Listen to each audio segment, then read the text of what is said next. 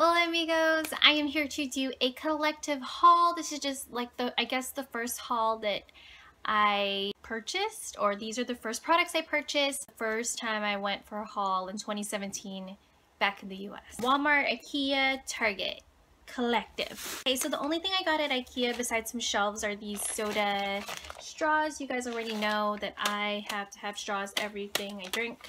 So these were about like two bucks and I love the colors. Oh, which by the way, here's Hyphy. Come here. Say hi. So this is my, this is my baby. Say hi. Hyphy, say hi. Hi. She's 12 years old and she's an old lady, right? I just woke her up. Hmm, stinky. Okay, go. She has a dress on. So at Target, I bought these. You guys absolutely know I love these. Bless you. These chapstick, these candy canes, supposedly limited edition, but they've always they've been at the Target little kiosk thing forever.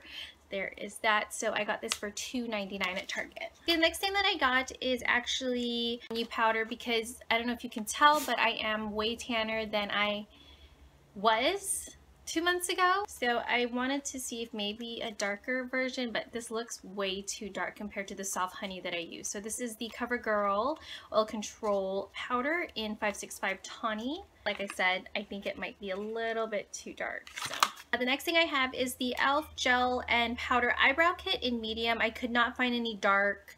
So I'm to have to figure this out. But there is that. So this is about $3 at Walmart.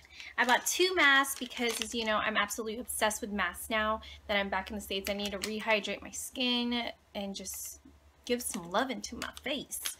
So I got here a Freeman Anti-Stress Dead Sea Minerals Clay Mask, there that, and I got this for $1.37.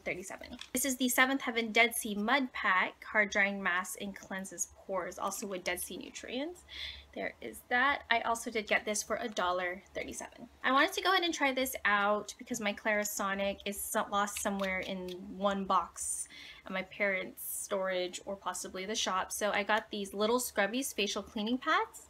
It comes with two. One is pink and one is green and I got it for $1.98. So I'm going to go ahead and do a first impression on that to see how um, well that works or how I like that. The last two things that I got are my usual shoes that I always get at Walmart. These are about $5.87 each. I got a white pair and then I also got a black pair. So I got two pairs of these, which are not a bad investment because I do wear them with everything anyways. So yeah, well I hope you guys like this really quick haul. Again, I'm going to go ahead and start rolling out the videos because I need to get on a routine. Okay, well I hope you guys like this video. If you guys did, go ahead and give it a thumbs up. If you want to see more videos by me, click that red subscribe button. It would totally make my day and I will see you guys later. Bye! Mm.